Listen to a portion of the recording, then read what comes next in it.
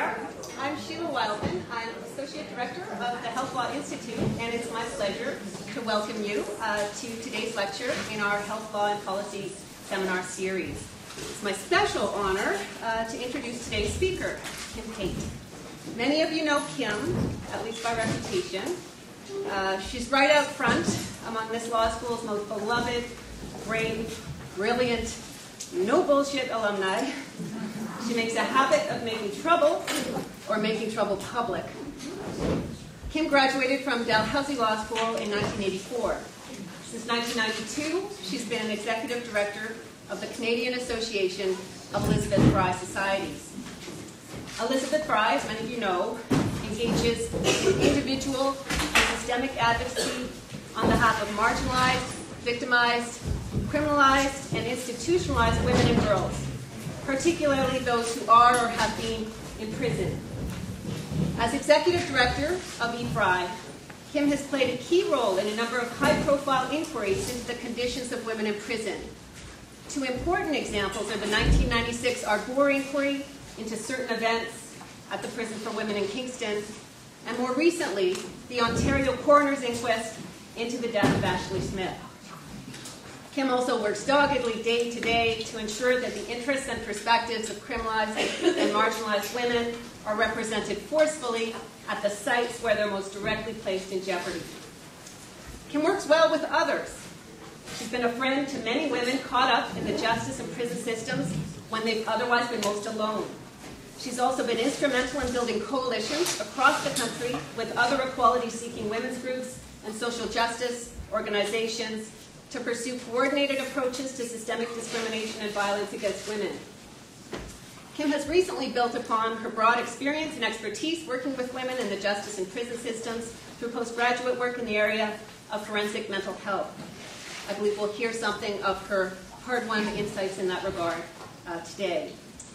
Last words, in 2003, Kim received Dalhousie Law School's Weldon Award for Unselfish Public Service, Nashua School of Law, and in 2009, she received the Canadian Bar Association's Touchstone Award for furthering equality in the legal community in Canada. In 2012, she received an honorary doctorate from University of Ottawa. She's part-time professor in the University of Ottawa's Faculty of Law, but this coming week, our students are so lucky uh, to have her delivering an intensive course on prison law here. So now please join me in welcoming Kim Pate.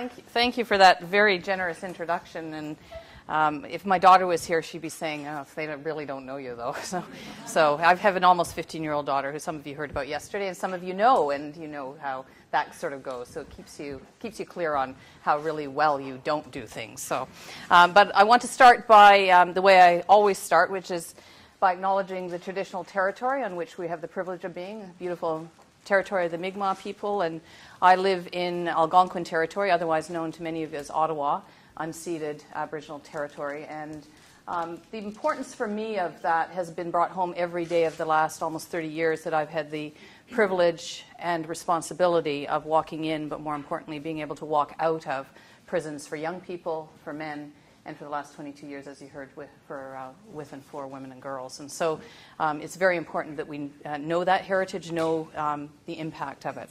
Uh, today, though, I'm going to be speaking most specifically about the issues of women, uh, criminalization of women in particular with mental health issues. Everything I say um, applies in, to obviously men and young people as well. And, uh, but I, one of the things I really enjoy is to have a dialogue with you. So um, yesterday, the, the um, the audience was really animated, so it's a little competition. Those of you at law school, I know, likes competition. I don't particularly like competition, but for those of you who do and are here because of that, um, you can ask more questions today. So because I would really like it to be, um, it, for me, it's always more interesting for me as well if um, I have some idea of some of the things people are wanting to hear. So before I start, is there anything that you came really wanting to hear about that I can make sure that I incorporate? And before I get going, so anybody? Yes.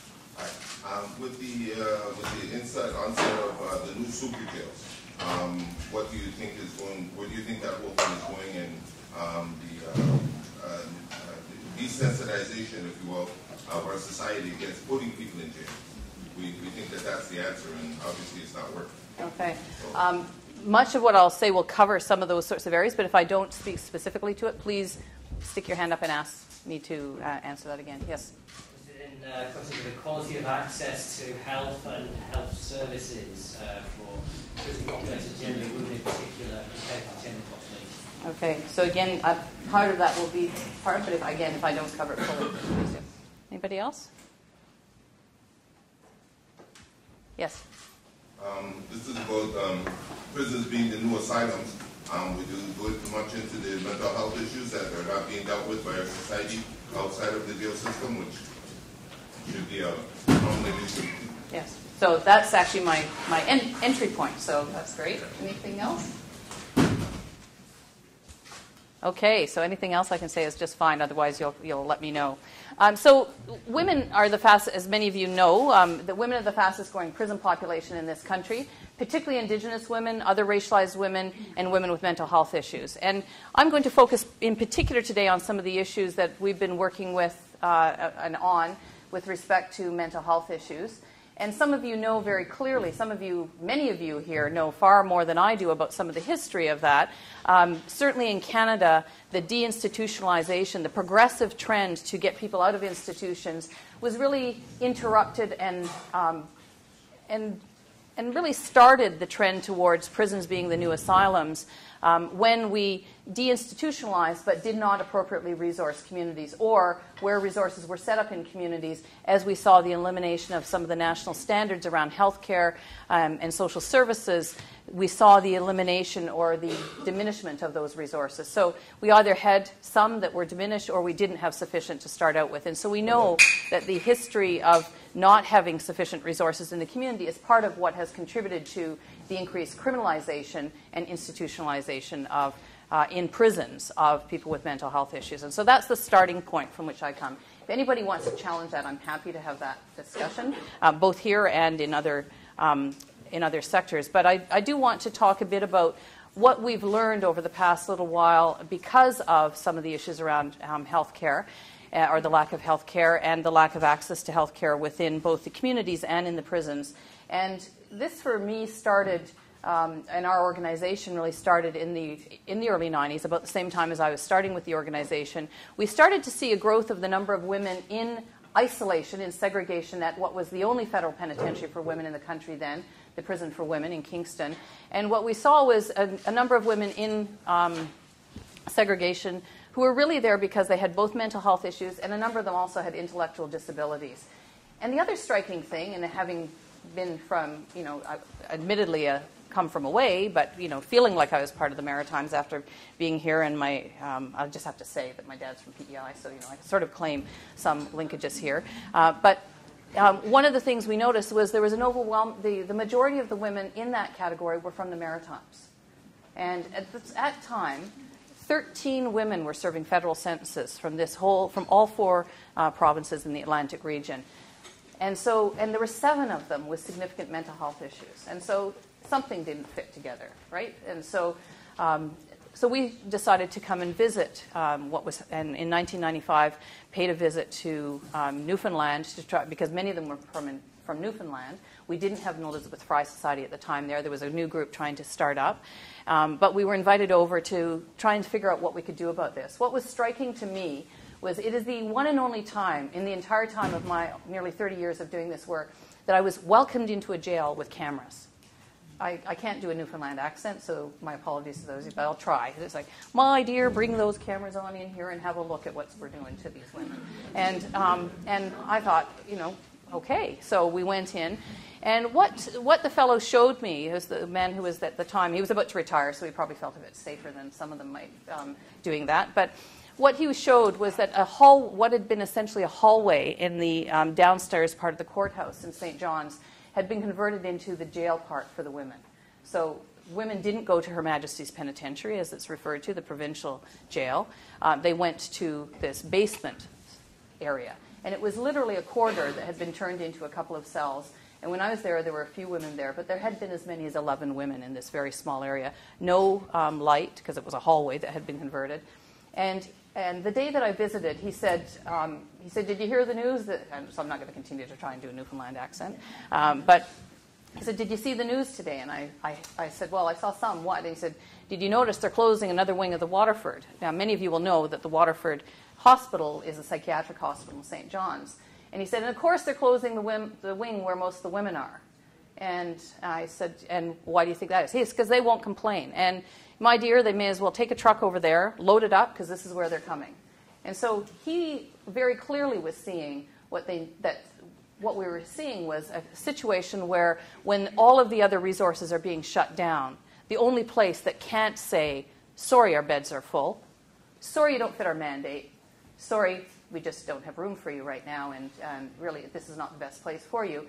If you can be charged with something, and so just charged can get you held, shouldn't be that way, but as those of you who practice know very well, that if um, if you can show that the person might be a risk to themselves or to commit another offense or, to, or just, you know, the, the, the sort of um, really patriarchal notion that we're caring for the um, people if we keep them in custody means that we'll see many people kept in custody awaiting trial or um, on the basis of charges just because there's a fear that if they're released into the community, it may be more dangerous for them. So we see increasing numbers of people coming into the system. When I met with the judges, they said the same thing.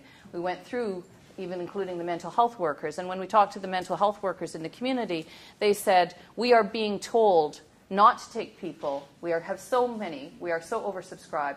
We only take the people who are motivated, and if they cause any trouble, particularly if they do anything that, for which we could call the police, we're told to call the police so that they can be dealt with somewhere else. And so we saw fairly, very quickly the trend that now is, is very much across the country. It's not that it wasn't happening across the country then, but we saw it, I think, most profoundly there. Why? Because we saw some of the economic downturn um, most profoundly, most, most evidently and starkly there first, but we've now seen it across the country. So, what has that led to? Well, it's led to more and more people in the system it's led to a system that is already overloaded, particularly the women's system, um, struggling to try and address the needs of women with mental health issues and com- other complex issues in an environment where behavior is seen through the lens of criminality um, first and foremost. And so any behavior that is seen as in any way aberrant or not, uh, stepping out of the norm gets characterized in that way. And it's a system where the way that you monitor people who cause you the greatest challenges is to put them in the very environment that is most likely to exacerbate any mental health issues you have, and that's isolation. And so we've seen a default to not just prisons, but in particular isolation and um, an aggravation and exacerbation of mental health issues for, for individuals. Uh, all the more so, I would say, for women, um, but certainly the, the, what I'm saying applies to men. It's just that um, it's been you know, it, the last time I was in a men's penitentiary was almost three years ago. So, you know, I, I don't presume to say that I know everything that's happening in the men's prisons. I hear from people, and I still keep in touch with some of the men I've known over the years. But um, certainly, this is true in the women's prisons. And so, so we started to um, do a number of things. One of which some of you are aware of, and, and um, some of you have been involved with, is the uh, everything from human rights uh, complaints complaints to the United Nations.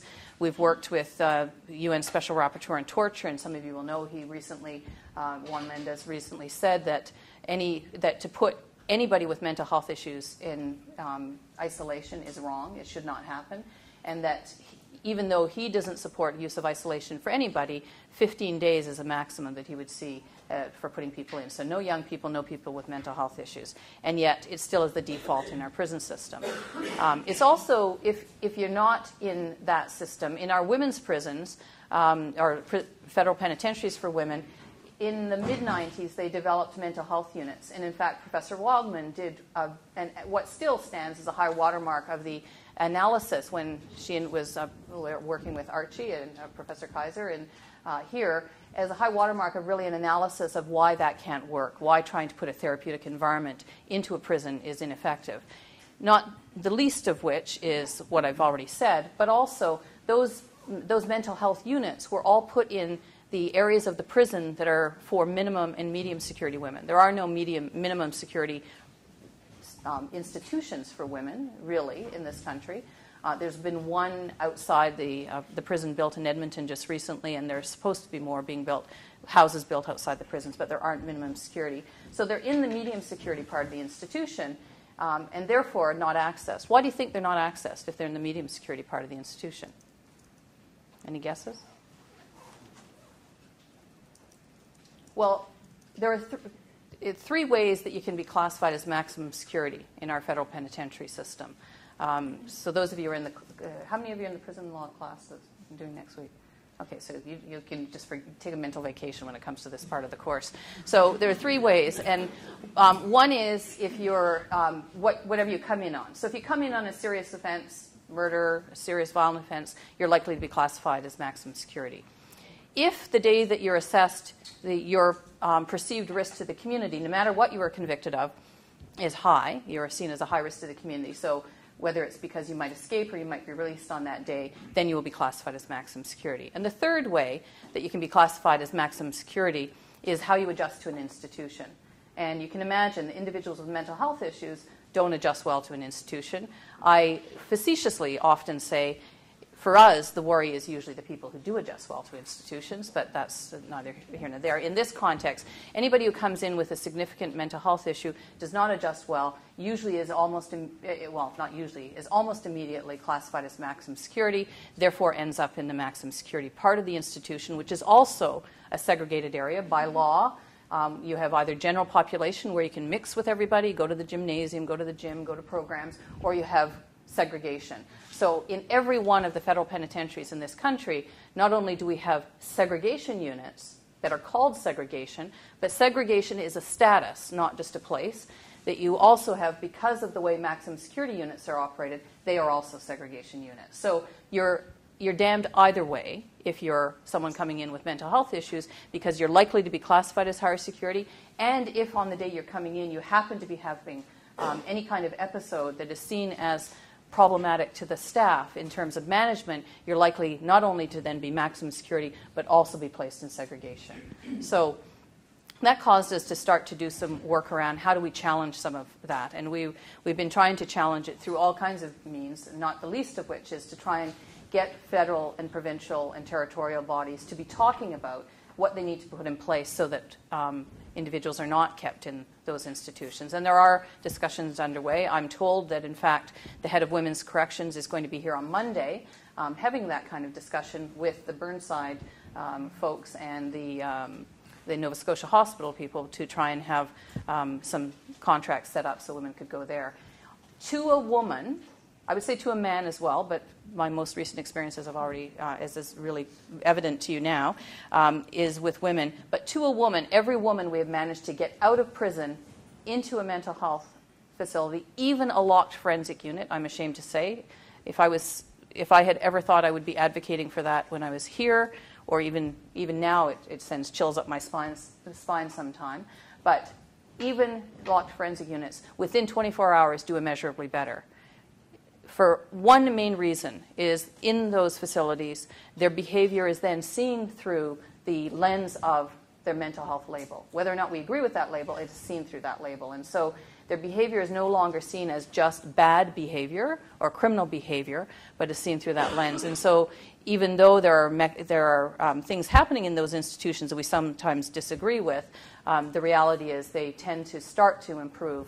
And every single one of the women um, that we've managed to get into those sorts of institutions have started to be able to integrate into the community. And a couple of them have been out now for several years, one out for 15 years, um, in the community with supported, uh, sometimes supported independent living, sometimes familial support. Uh, and these are women who previously had been described in much the way Ashley Smith was, as incapable of living anywhere out of an institution, which is um, how, how she came to be described. So, um, one of the things we're, we're doing to try and do that, in addition to one case by case analyses and, and advocacy, is working with doctors and um, nurses and doing training with them. Obviously, these sorts of um, uh, venues and opportunities are also incredibly valuable. But trying to get people to become more aware of what is happening, in, in a, especially amongst the public, because there is a perception that going to jail and being helped is, even, is better than just being left in the community. And if there's anybody here who has, still has that notion at the end of today, I want to sit with you. And I'm sadly to say, well, I won't, I won't tell you I won't let you go until you have a different view. But um, if you still have that view, I will be surprised. And Because in the process, in particular, of going through the inquest into Ashley Smith's death, um, it has become evident to me how little we even know. And when I say we, me personally and our organization knew about how some of these issues were understood within the prison. And when you've been doing this for as long as I have, and something can still surprise you um, in a, a, very bad way, um, it's, it's scary, it's disconcerting, and it prompts you to want to do something about it. Um, and what really surprised me is we've been doing human rights training in the prison since, um, since the early part of uh, la- the last decade, after we did the human rights uh, complaint in 2001 and that was reported on by the Canadian Human Rights Commission in 2004 the women at that stage said, We don't want another report. You know, there will be another report, but what we really want is the tools to be able to do something about this. You come in and wander through the institution. We do walks through the entire institution, look at the conditions of confinement, document them, meet with the women, meet with the administration, try to address the issues. And, but then we leave. And it's clear that for every other minute of every other day, of every other week, of every other year, um, those women are there at really with individuals who are in the prison who may may not understand what's happening. And so the women said, we want training on our, what our human rights are, what our charter rights are, what our rights are under the Corrections and Conditional Release Act, so that we know what, when things are going wrong. So we started to do that training, and in 2008, our, our 2007, sorry, our membership decided that women across the country deserved an equal level of advocacy, whether they were in uh, Nova Institution out in Truro or in the Fraser Valley Institution in Abbotsford in British Columbia. And so they decided to do something which is really unprecedented in our organization because we're a grassroots organization, is they wanted to um, have all of the organization of the regional advocates come under our office, the national office, and the training happen out of our national office. Um, and so that's what we've been doing since 2007. It coincided with, in fact, it was seven years ago yesterday that Ashley Smith came into the federal prison system, and it was six years ago, um, two weeks ago, that she died in the federal prison system. And so it coincided with um, Ashley Smith being in the institution, but it wasn't driven by that. Some people think that we changed it because of that. I wish I could say we, we did. We have changed lots of things as a result of Ashley, how Ashley was um, d- uh, treated, and I don't mean treated in a positive sense of the word. In prison, but that was one that we were in the process of changing. Had we been doing something different, uh, had we been doing what we're doing now then, I would like to think something different would have happened because we have been able to intervene in other women's cases. But as I'll talk about in a minute, um, that's not always true. Uh, but one of the things we have uh, learned through this process is how little staff knew as well.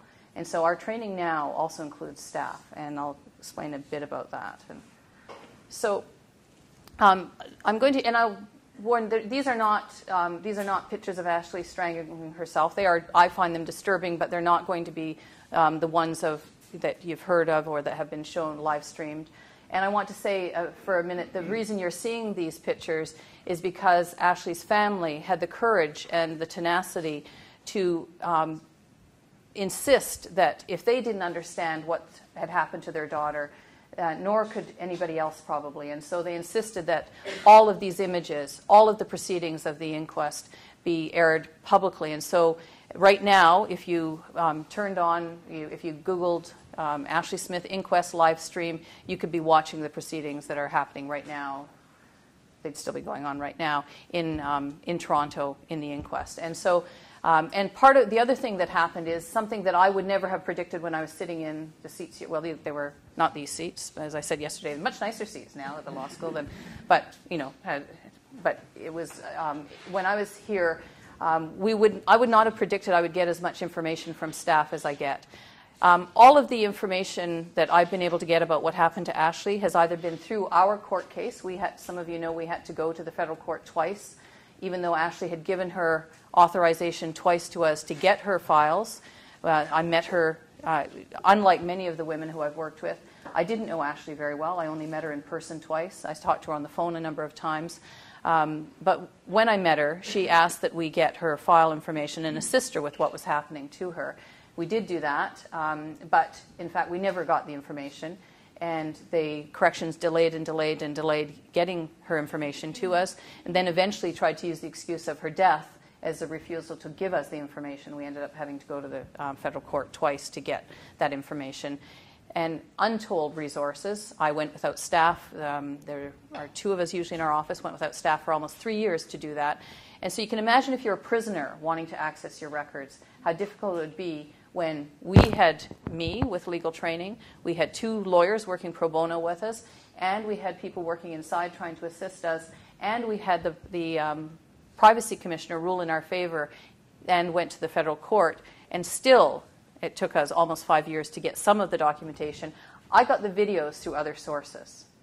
Let me just leave it at that. And um, the reality is that is part of how we managed to get them released because I have not yet seen the inquest brief. So imagine those of you who are practicing, those of you who are law students, the significance of this is that we have standing at the inquest. Our organization, the Canadian Association of Elizabeth Fry Societies, has standing at the inquest. As part of that standing, I've signed a release saying that if I access any of the material through the inquest process, I can't do anything with it, basically. I'm precluded from using it for any other purposes for the inquest. So I have signed that, but we have two letters have gone because there have been two different coroners involved in this process. Two letters that have gone to the coroner outlining that it, even though I have signed that saying that if I accessed it, I wouldn't release it, I have not yet accessed the inquest brief. So everything I'm going to show you has either been made public um, through other means, or most of the videos I first saw and then did affidavits about their existence to try and get them released into um, into the public sphere through the inquest process or through other processes. And um, some of you know that um, that can be a little risky at times because the first challenge from corrections was they don't exist. There's no such thing.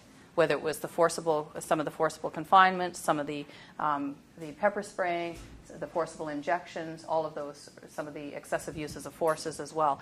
And so our response was then you prove that they don't exist. Show us the, all of the videotape you have of her for that period of time to prove it doesn't exist. And the long and short is um, obviously that couldn't exist. And so what I'm going to show you is um, some of the, the stills we have and some of how um, Ashley, and talk a bit about how Ashley was described during those processes, as well as another, um, another couple of women's um, cases that we're working on.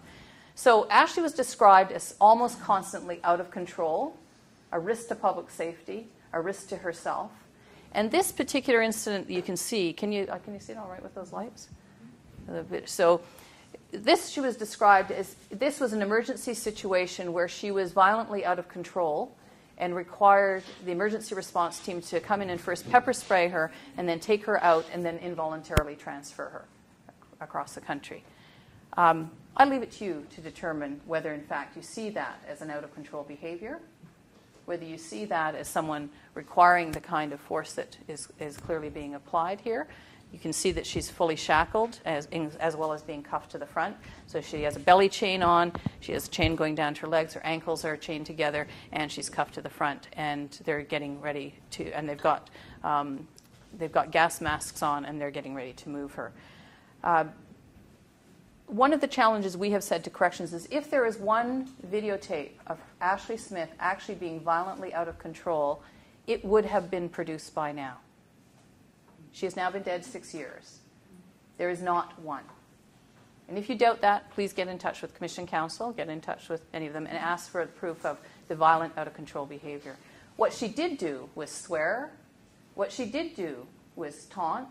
What she did do was tell them when they were doing things illegal. What she did do was document some of the things. And so that led to her writing materials being taken away, her reading materials being taken away, her being done, denied access to others, and her being treated in a way that was really about um, stopping that behavior. But really, what it did was escalate the very behavior. And I go back to um, she was at this stage, uh, 19 years old, but operating very much she had gone in, she went into prison as a 15 year old, and she was still operating emotionally in many of the ways. As I watch the videotapes, I see the behavior that is strikingly similar.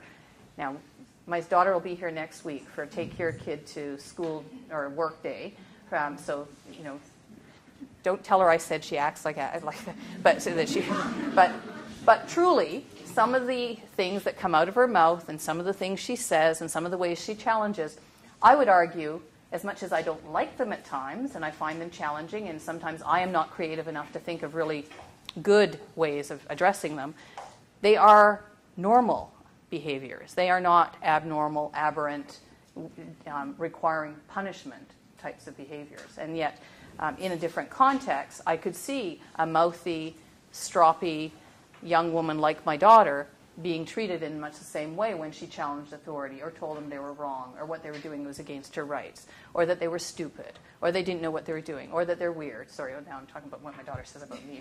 But so that's, but, but you get the picture. So her behavior um, was, she was not someone who, who bowed to authority very easily.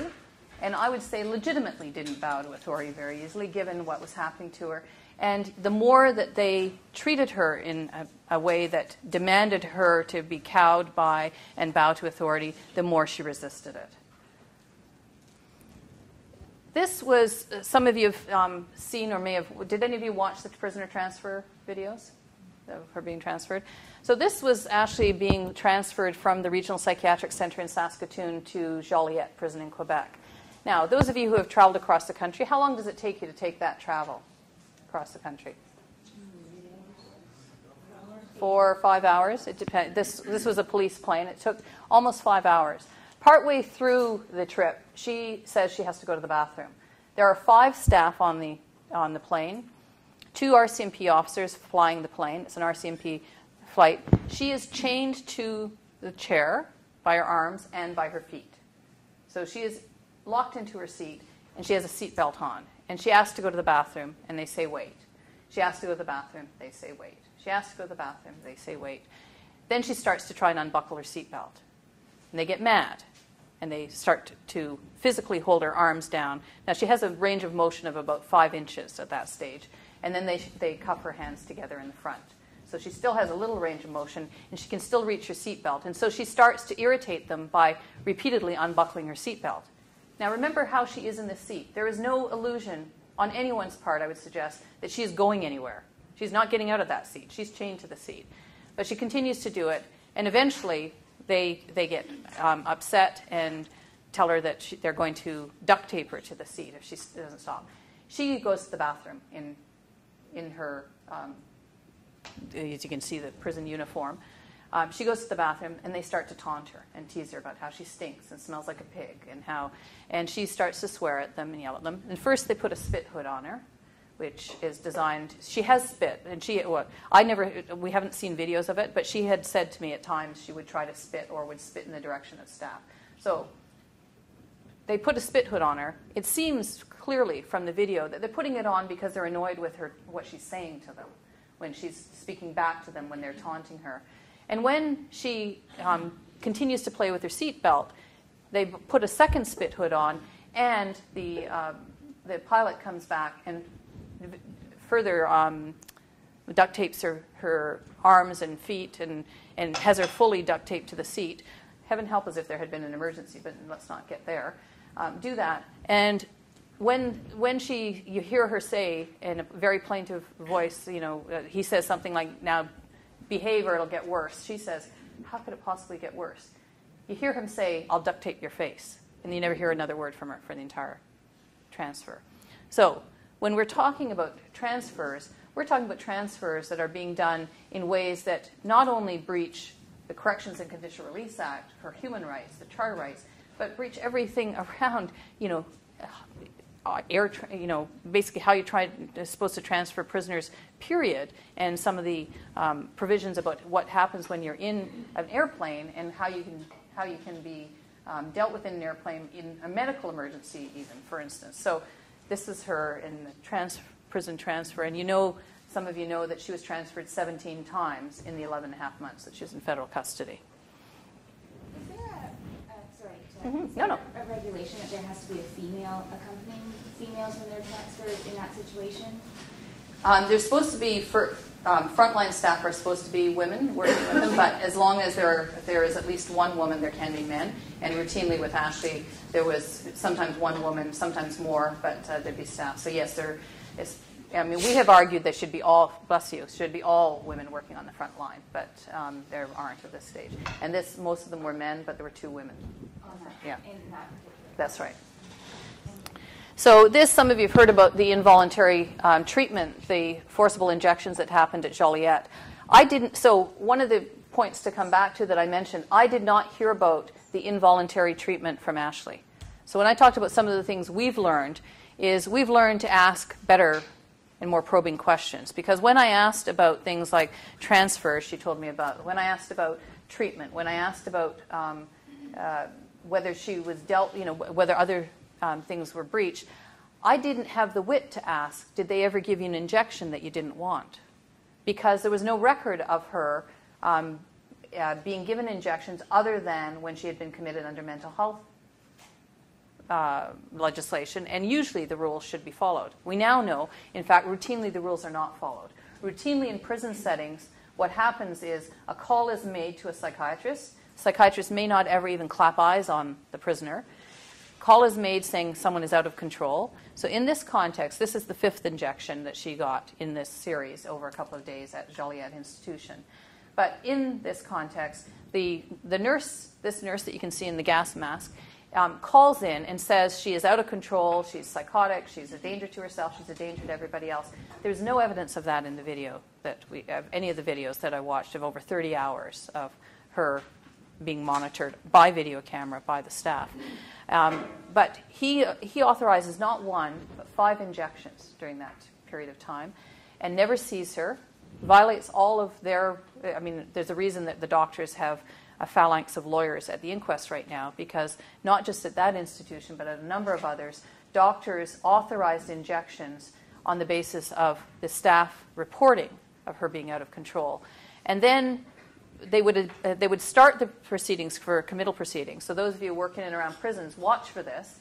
They start the proceedings and then abandon them before they need the second signature of a psychiatrist, or they just continue to start a new process each time. And so that was something we weren't fully aware of, that we are aware of, that we're now doing both training with, um, with physicians, but also doing work with, um, within the correctional system to say, you, you know, this can't be happening, and your contracts have to clearly outline what the responsibilities of um, doctors and physicians are and nurses when they're in this position. This one, um, so corrections has grudgingly agreed, um, and I shouldn't that to be fair. Some have agreed the minute they saw these videotapes that this this was involuntary and illegal, or at least unlawful. And some have grudgingly accepted um, after it's been produced at the inquest. There are many within corrections, including the lawyer, some of the lawyers involved, who still argue that this particular injection was a, is still, they would characterize as voluntary treatment. Why do you think? She's smiling. She's actually in the video. You can't really tell from here. She offers up her arm. So it's described as she clearly was okay with it. The, she, the nurse is saying to her, you know, we're going to give you another one. You may as well make it easy. And so she, she just smiles and offers up her arm and gets the injection. Now, I ask you, does that look, what makes it not look voluntary to you? She's handcuffed. Does the nurse look like she thinks that everything's safe here? That she's voluntarily doing this in a gas mask with the staff at the you can't see but they've got canisters of pepper spray at the ready to spray. The staff are fully suited in gas masks. But this to, so this will give you an example of something that still for corrections folks is described as voluntary treatment. They saw that as voluntary because she offered it up. In prison for women in 1994 the physician who did body cavity searches of women who were fully shackled described it as voluntary because they signed their name to a paper so we have some we have an obligation, I would say, as individuals who are trained in the law to be identifying when things just because they look like they may be lawful aren't necessarily lawful. And you know, again, to those of you who are in prison law, but if you're not, you don't need to be a lawyer to do to understand this. What I say to whether it's law students, lawyers, doctors, heads of uh, prisons, or women or men or young people in prison is the law is very clear. The penalty that's being imposed on you when you get a prison sentence is separation from the community. That's it. Anything that takes away your freedom any more than separating you from the community is either one, not allowed, or two, has rules about how it can be done, and three, you're entitled to know what those rules are. So that's all you need to know. So uh, those of you who are signed up for prison life, you can, if you remember that, you pass and you don't have to take a course now. So, but in all seriousness, that it is that it is that simple and complicated, but it is that simple. Yes, you had a question. Okay, does that statement that you're making now apply to the security certificates that are sometimes issued for prisoners? Do you mean um, for immigration? For Security certificates are, yeah. the security, they twist it and make it seem whatever they want, but um, you're saying that you have a right to know and all that kind of stuff, and they tell you no, you don't. That's right. Well, um, I'm not as inv- I'm not involved at all in the security tic- certificate, but I do know that the charter has been breached in many contexts there. So, um, in theory, at least, the rules should apply that. But very, my understanding is it's not being applied in those contexts. So, so that's volunt- that's voluntary treatment. This was so. This was actually this is out of time from the previous one. This was actually just before the um, fourth injection. But I put it in here because one of the things that, um, when I was challenging that there weren't actually incidents of her being violent or out of control, they said, yes, there was. There was, you know, before one of the injections, she got out of her restraints and she was getting, you know, um, going to attack the staff. This is the incident.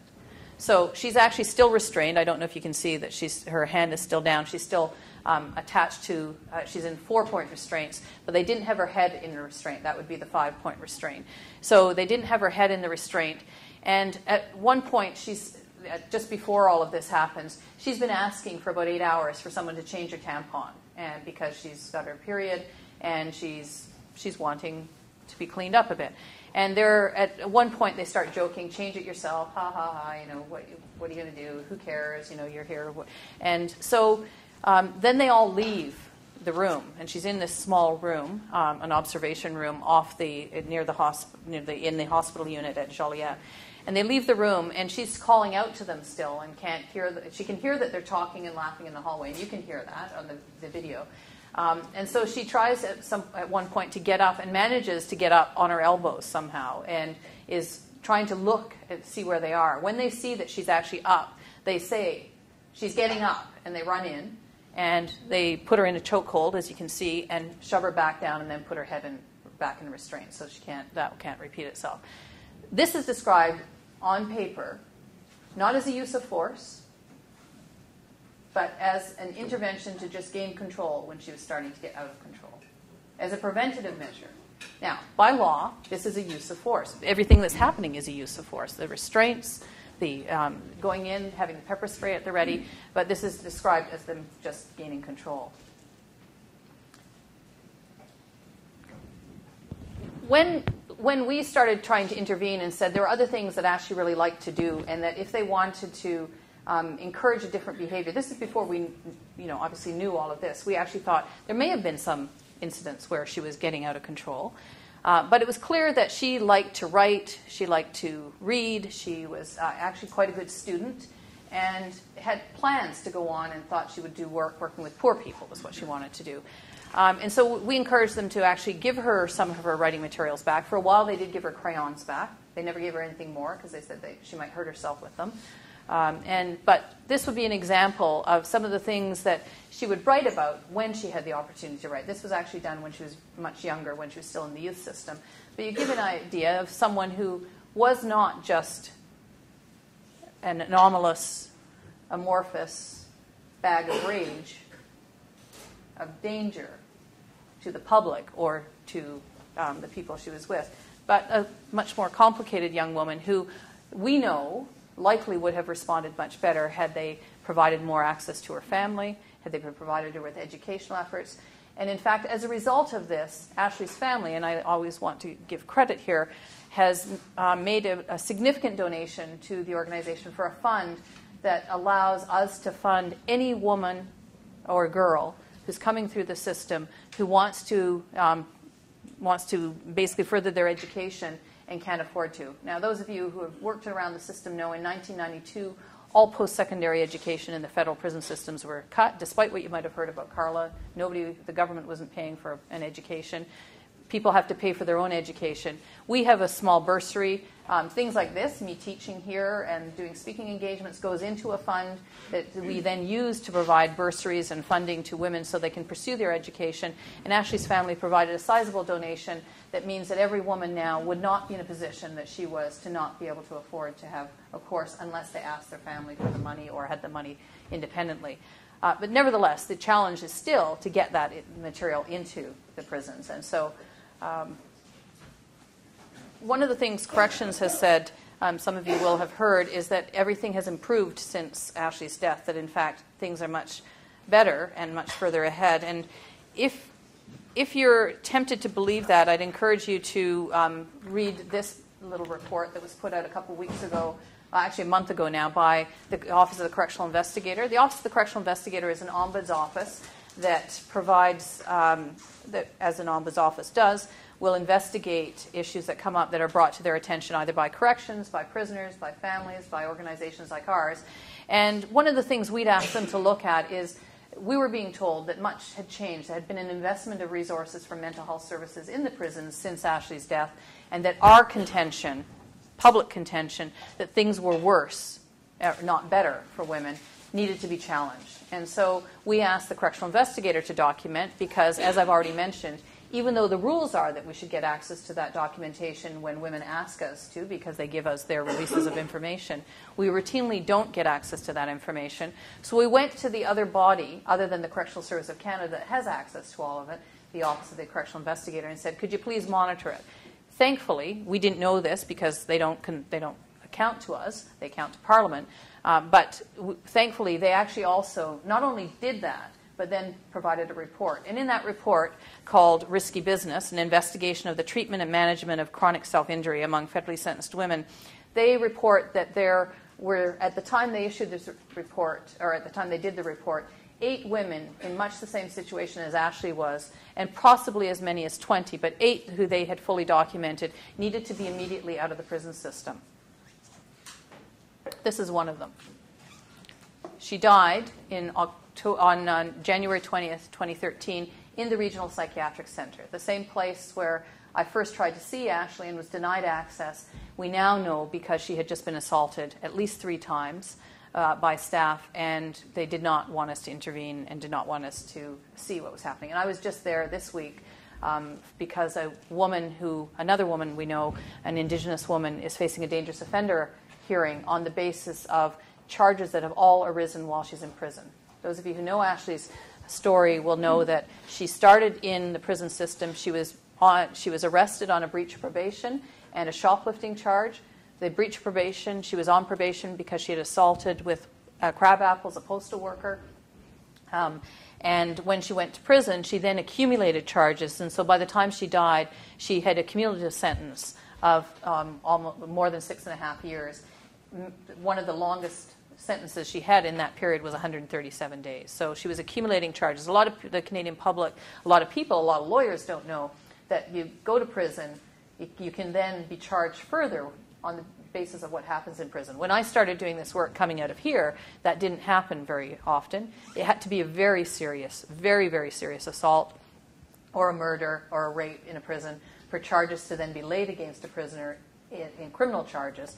And so there's also the notion um, we're, we're in the midst of trying to see if we can do some class action types of approaches on the whole issue of double jeopardy because of the number of people who accumulate charges. So this woman is one of the eight who is listed in this report, but she died in January. So this report was released September 30th. She died January 20th.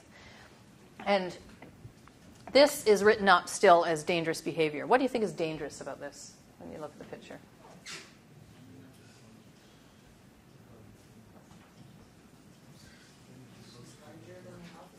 Pardon me?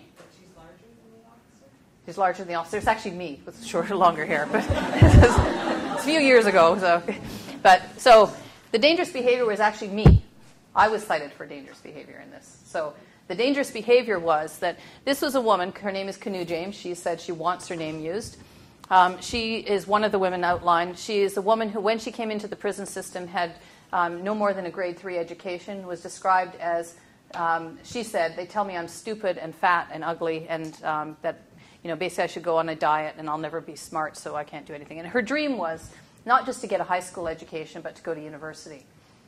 And they told her, no, you can't. You, they basically said she had intellectual disabilities and fetal alcohol, and she would never get an education. Uh, she spent most of her time in segregation in various prisons, was also transferred across the country.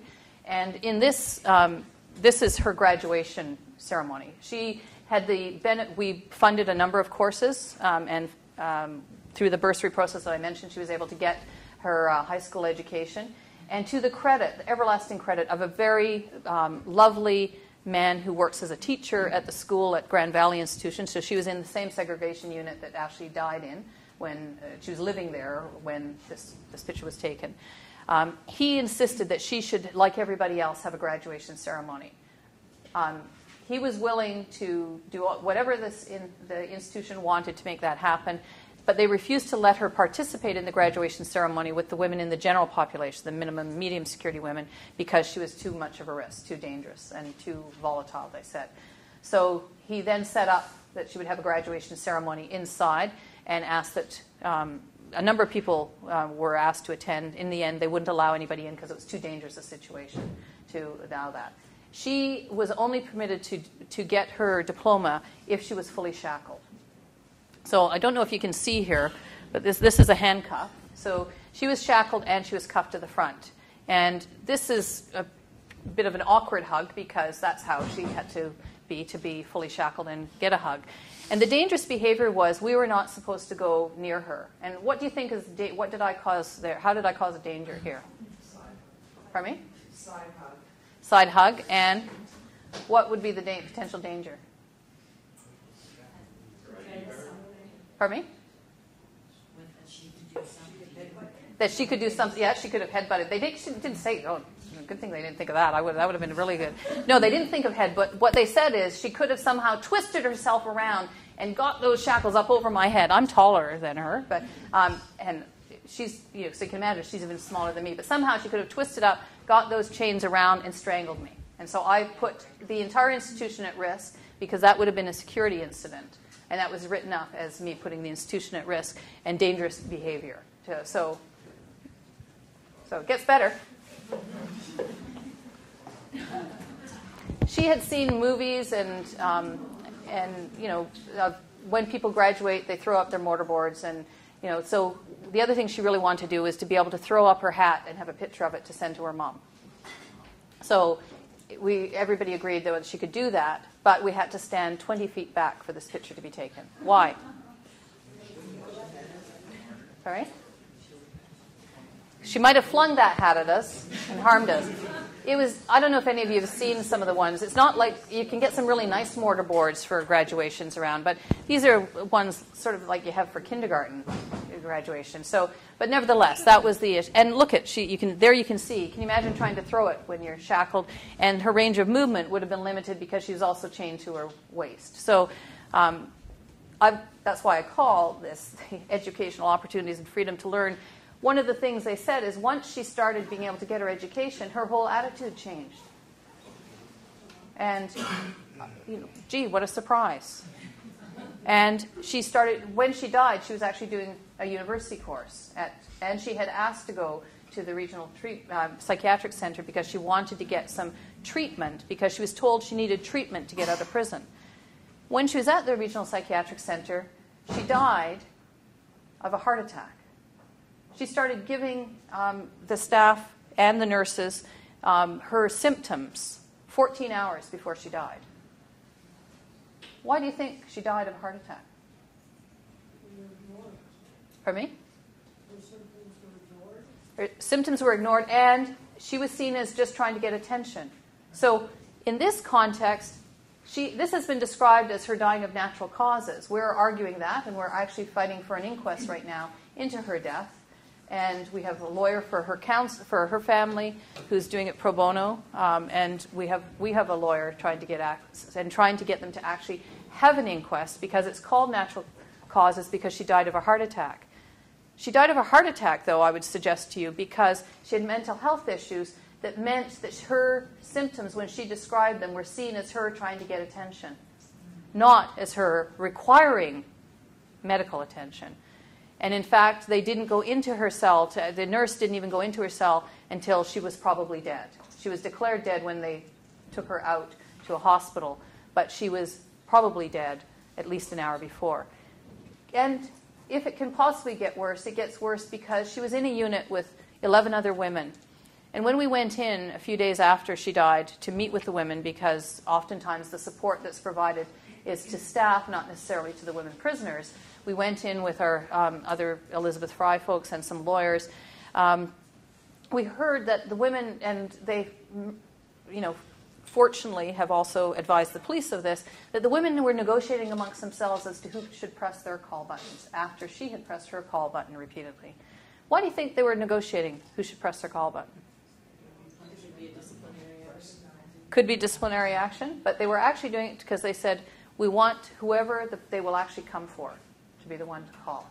Now, can you imagine in that kind of situation, ever having to try and figure out which one of us will they take seriously? Which one of us will they respond to? Which one of us has the responsibility of getting medical care for our sister prisoner? And that's essentially the role they were put into. So at every level, we are seeing a repeat of the very same issues that are being outlined uh, and, and uh, aired and publicly uh, provided to the Canadian public right now in Ash- the inquest into Ashley Smith's death will re- be replicated, and even more so when you consider that in this case, it was Ashley's was a preventable death too. She was tying ligatures around her neck, yes, but she was on constant observation, five staff there, at least three cameras. She shouldn't have died. This woman was letting people know of symptoms of a heart attack 14 hours before she died. Could have, most physicians have said to us that they would almost guarantee she would have likely survived. So, what do we see as some answers? This is a woman who's actually from this community. Um, right now is in the hospital, and she said I could. She is supposed to be doing a guest appearance in the course this next week, but depends how she's doing. This is a woman who is similarly described, and in fact, when she first heard of Ashley's death and heard the story of Ashley, she called me up. She calls me up every couple of days and um, and said, "I get it now. You thought I was going to be Ashley."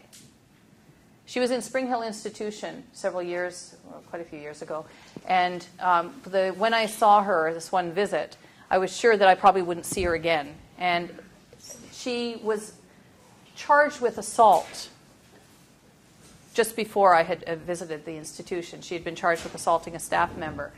And the, the benefit of her having been charged with assault was that, in fact, because she was charged with assault, they had to take her to outside court to, for the judge to hear that charge. And we were able to intervene to get her into the Nova Scotia Hospital for an assessment. And that started, uh, started a chain of events that has meant now she likely cannot be returned to prison because she's now recognized as having schizophrenia and requiring interventions, whether or not we like all the labels, but requiring mental health interventions. And she does end up in the hospital sometimes and goes back into the community and lives in supported independent living, supported by our E. Fry folks here and supported by mental health um, team here, as well as other individuals who are, have become her community of support. That is she is one of the women who we talk about individually we've been able to get out of the prison system into mental health services. And it doesn't end there. We then have an obligation to continue to follow them so that any abuses that can happen in those systems don't persist. And in fact, are in the midst right now with Nova Scotia Legal Aid of looking into the potential of intervening, not in this woman's case, and we are already involved in hers, but in the case of some other women who are in for civil committals alone, not criminal committals, um, to try and argue that we need to be developing better community resources because these other two women who will be working on their cases are women who are being held in, in um, the mental health system under civil committals because there are no community based resources. And that's just as unlawful and just as inappropriate and just as egregious a breach of the law, in my opinion, as, as are the other ones you've seen. So um, we're very, very keen to be working on this. We're very keen. Um, to me, it's very exciting to be here um, this this ten days because I see incredible hope for change for things to change. Things are very. I would be, you know, obviously I have given you a very bleak picture of what's happening in the prison system, but let me try and inspire you with what, what is hopeful about this most of the information that I've received, I've mentioned, I get from people inside. Now, the negative side of that is people are feeling pretty hopeless inside if they're coming to people like me uh, to, for assistance. You know, we're a, a one or two women office. Um, there are, you know, 30,000 people working for the Correctional Service of Canada. They're asking us to bring human rights complaints. They're providing us with information. They're feeling impotent inside, but they are providing that information that helps us to be able to then take and challenge the system. As well, there are negotiations happening within uh, federal, provincial, and territorial um, working groups, and in particular in women's corrections, the head of women's corrections federally is very keen to push on this issue. And some of you, if you watched the, or saw any of the reporting of the testimony of the Commissioner of Corrections uh, two weeks ago, he was on the stand right after I was. He reported that the only reason they do not have agreements is they do not have the funds. So he has essentially said, not essentially, he did say that he cannot fulfill his mandate. The Correctional Services of Canada cannot fulfill their mandate to have people in appropriate services because of lack of resources. So we're now in the midst of trying to get launched an Auditor General review of the Correctional Service of Canada and spending because you can rest assured when they need a plane to transfer someone across the country or they need monies to bring in an emergency response team or to have forcible injections they have made money available. And so um, we're looking at that mechanism. And here there is the potential those of you who are interested in this um, area to work on some of these cases of not just tonas but also some of the other um, women who will be working on their cases. So i think there is reason for great hope. I, and i think the energy and the enthusiasm of people working within the system to change it is very real, and it's shared by people both inside and outside of those institutions that there is a need for change. And so I think there is, um, you know, great hope that that will happen. And I want to end with a, um, a quote because I want to, I'm just conscious of time. I want to make sure that there's time for more discussion for um, any of you who'd like to have more of that discussion or want to hear more about some of the recommendations the correctional investigator has made. Um, but you know, I urge you, those of you who know this, um, someone said to me recently, What could we do? And I said, If the only thing you do is repeat two of the things you heard today to someone you don't know or someone you do know, but to repeat it and make sure people know and the ideas and the misconceptions of what is happening are challenged every day, that would be extremely helpful because I think most people don't know this is happening. It's happening in your name and it's happening in my name. And we all have a responsibility to challenge it. So, um, the quote that I'm going to um, leave you with is one that was first given to me by another woman, uh, lifer, who I um, keep in touch with. Her name is Gayle Horii. Some of you will know her because she challenged many um, issues, including the lack of education for prisoners in the, in the prison system. And it's a quote that she got from an Indigenous woman named Lilla Watson, who I've since had the privilege of meeting. She lives in Brisbane, in Australia. And it goes like this If you've come here to help me, you're wasting our time. If you've come here because your liberation is bound up with mine, then let us work together. So I look forward to working with all of you. And, and that is.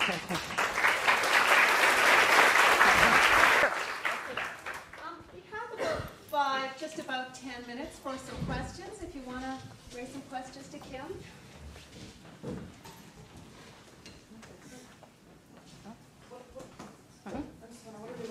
Oh, what are you looking at? Oh, good. Um, this I took in Glasgow. I was there for a, a conference about women's international conference on women's imprisonment, and they just happened to have all the torture devices they've used to keep women quiet uh, over the years. And this is a Branks, some used to be called a scold's bridle by some, and it was basically to silence women who, you know, whether they were nagging their husbands or whatever, at a time when women had no rights. So it went in the mouth, and you couldn't talk if it was in because it would stab your tongue. And so. I'm not suggesting they bring these back, by the way. It's just, it's just a provocative picture that I, yeah. Sorry, I'm just going back into uh, your conversation with regards to extending time. I was just wondering if you could clarify a little bit more, because I know that prisoners can be charged under the Corrections Act regulation with assault. Um, it sounds like you're you're talking about being charged under the criminal, and so they're taken outside. Is that is that how the Yes. time is being extended beyond what was given? Yes, thank you for asking. I mean, it's why we would we say and, and argue it's double jeopardy. We usually routinely put in grievances with the women about that. That they are so. Let's say. Um, Let's say, as I'm being restrained, I strike. Oh, actually, the most common is when I'm being strip searched. Women are disproportionately strip searched more than men. In fact, when we ask through access to information for the, the stats on how often women are strip searched, it's so often they don't keep track anymore. Can you imagine? The, the deputy wardens of women in this country wrote to the head of corrections, the commissioner of corrections, and said they should get rid of routine strip searches. So, not yahoos like Kim Pate, but the wardens, the deputy wardens who were responsible for security of the federal penitentiaries for women said this, wrote in, said it, and um, when they uh, when they saw this, the, you know, the head of corrections I'm told, was not very happy. But they basically said it does nothing except promote hostility between prisoners and staff because many of the women, 91% of the indigenous women, 86% of the women overall have histories of physical and or sexual abuse. And so, you know, they're being strip searched, they start to strike out. So if you if you resist, you could get a criminal charge of resisting um, uh, arrest, if it, depending on what stage it is, assaulting a peace officer, and you'll likely then not only get punished by a higher security rating and possibly placed in segregation, but you'll also almost invariably get an outside charge, what's called. And when you when you hear the term outside charge, if you're going into a prison, that means they're being charged criminally, and they'll be charged on the criminal code, and they'll be processed in outside court, in the regular court, criminal court, and get receive additional sentence usually. So, for instance, Tona, she was when I first met her. She was in, um, she had done a B and E, had um, broken into a school after she had been being raped by her birth father. She was adopted out as a child, um, and from an indige- from an indigenous family, mom was adopted out. And when she went looking for her birth father, he um, let her stay with him, but proceeded to rape her. When she left, um, that she broke in that situation. She broke into school, was arrested. That was her first charge. By the time she left the Nova institution after serving, um, or Springhill and then Nova, um, she had served more than 10 years, and she had accumulated those charges. And that was, you know, more than 10 years ago now. So. And um, as, as I mentioned, Ashley has accumulated. There's another woman. Um, Kinew was serving a life sentence, so she just kept accumulating time that delayed her statutory release date. So if you're serving a life sentence, you can't, you know, despite what this government's doing, you can't serve more than a life sentence yet. And so, but it can change your release dates. Yeah. Yes. Um, I'm interested in an initiative you described that involves um, bringing staff frontline staff within corrections into the conversation about promoting and respecting human rights. Um, I, I, was interested in hearing a little bit more about that, how one would approach bridging that gap um, yeah. and making it a, a conversation of value. Yeah, um, it's a great question because when I first was suggest when we first started doing the human rights training, we would do a session for the staff the night before, and then do a session for the women or two days of sessions with the women.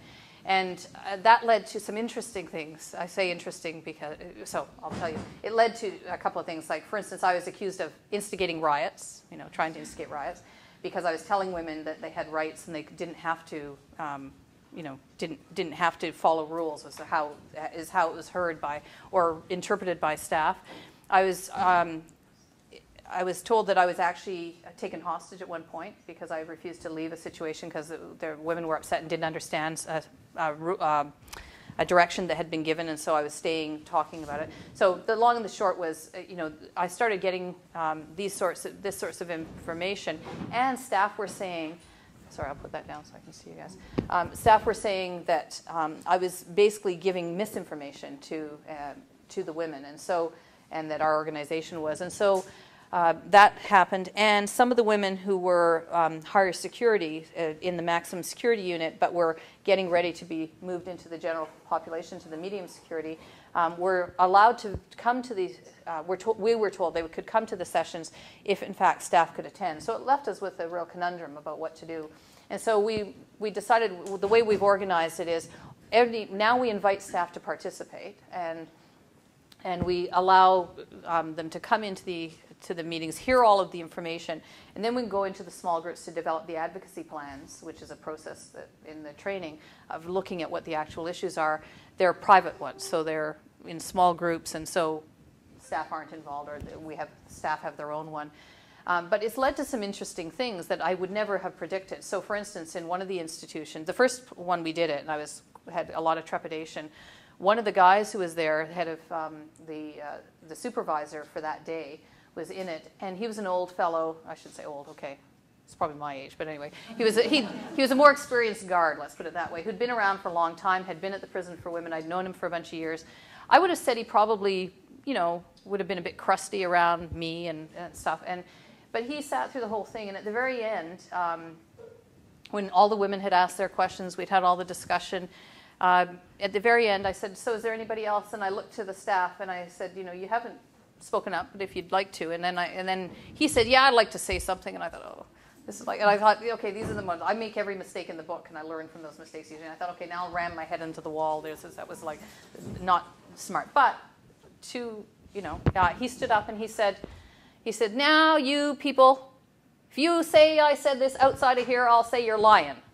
And I'm thinking, oh God, now what is he going to do? And he goes, you listen to this little lady. And, and, and I'm going, and, he, you know, and, and he's, he's big guy, so he says, you listen to this little lady. Because I can't tell you that, but you got to do it. You got to stand up for your rights, and you got to just fight it, and it's just getting worse and worse, and you just got to do it. And he says, so just listen to her. And then he said, but don't say I said that. And I, I couldn't have said anything better. Like it was, it was someone who, you know, he was, uh, you know, it, it was one of the women described it as, excuse my language, but mind fuck when he did that because it was like, you know, like, but they heard it and said, okay, well, you know, they may not say it to our faces that they support what we're that this is happening, and so it's led us to actually be even more vocal. So the, one of the last sessions I did at, in uh, British Columbia, the warden actually sat in and the management team of the institution, and then afterwards um, decided they wanted more training on what they should be doing around um, sections how Section 718-2E, the, what's often known as Gladue factors,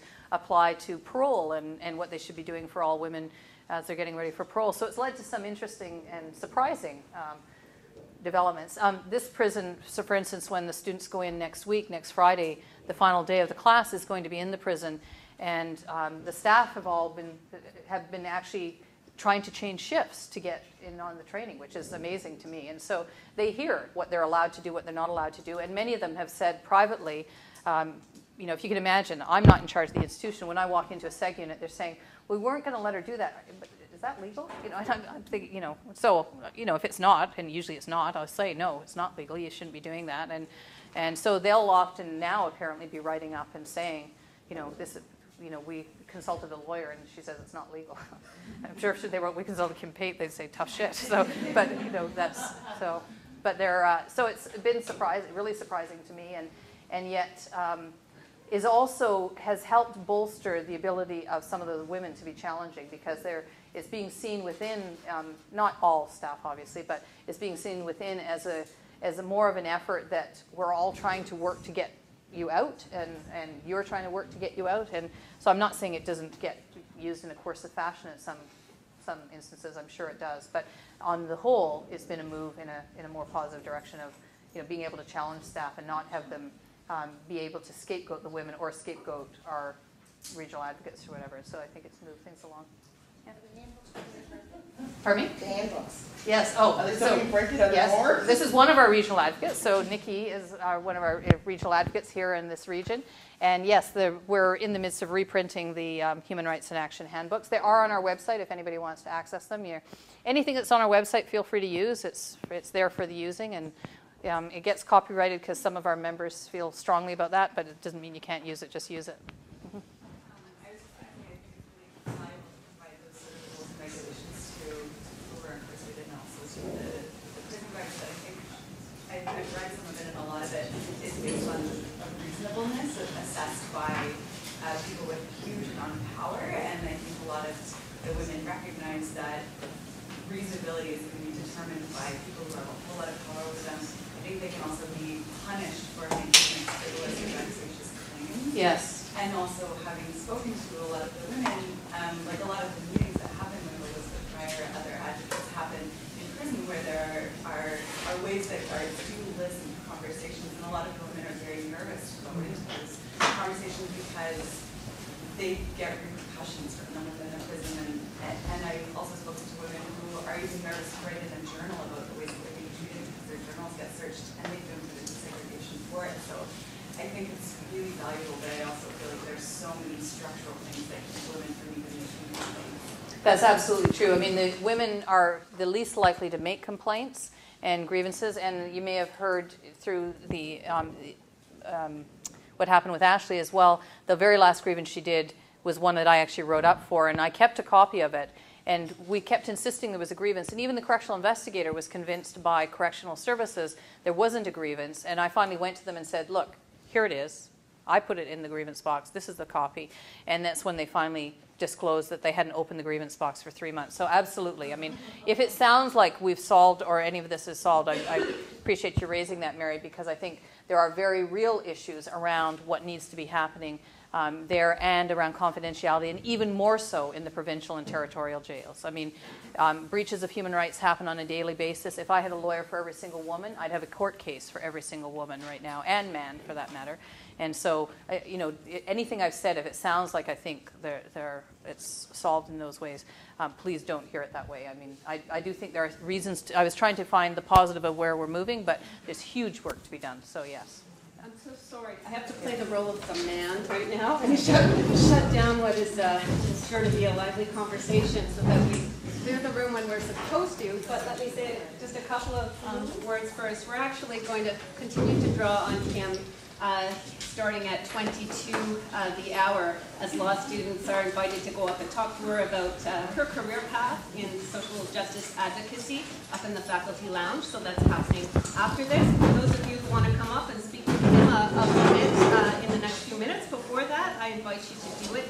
I also want to take the chance to mention our next seminar, uh, which is coming up on Friday, November 15th. That's Joanna Erdman and Tamar Ezer talking about human rights education in the health professions, Eastern Europe and Central Asia. And finally, I want to uh, thank once again uh, our speaker, Kim Pate, uh, for her devastating uh, talk today uh, and for bringing, uh, I guess, bringing to life uh, the story of Ashley Smith and others uh, and reminding us of our responsibility for what happened uh, in those cases and for what continues to happen uh, in the prisons so long as we don't act. Okay, thank you, Kim.